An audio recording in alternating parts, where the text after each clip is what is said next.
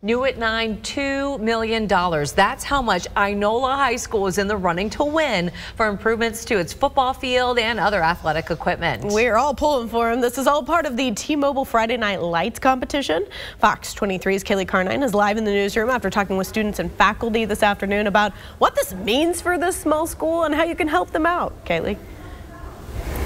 Well, right now, Inola is in third place, the only school in Oklahoma in the competition.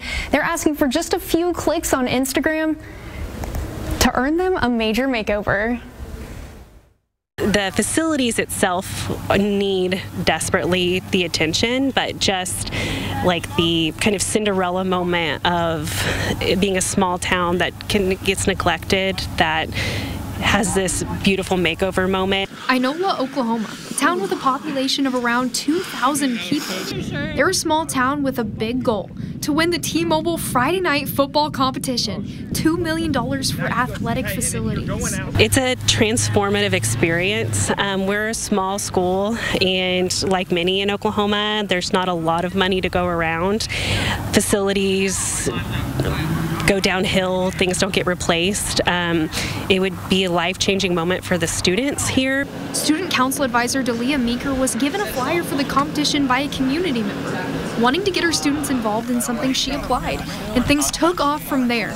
She says Inola is in desperate need of this money. Even just this weekend, our uh, our scoreboard went out, and we just don't have money to replace that. Our turf needs to be replaced.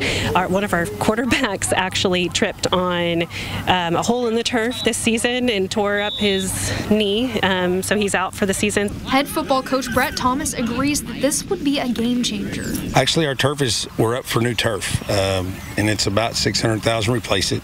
Um, this is year 10, I believe. So, yeah, the turf's in kind of rough shape. Uh, we keep it, try to condition it, but it's still pretty rough. It's falling apart. Coach Thomas says it's exciting to see his senior leaders get involved with this too. Connor Pratt and Rowdy Rock helped organize the competition. They won't get to play or experience the new facilities if they win, but they're excited to leave their own legacy. I mean, it's pretty special. I know we if if we do win, we obviously won't get to play on it or anything like that, but one thing that the coaches have always told us as seniors, you have to build culture. So it's something that will start from everybody below us. We'll get to have it, and I think that's very special. And I mean, hopefully, I get my name somewhere. I mean, that'll be that'll be pretty nice.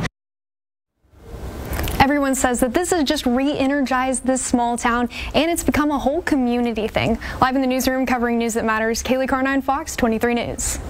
And again, to vote, go to the Inola High School Instagram, that's IHS Proud, then like their pinned video. The last day to vote and submit your like is November 12th.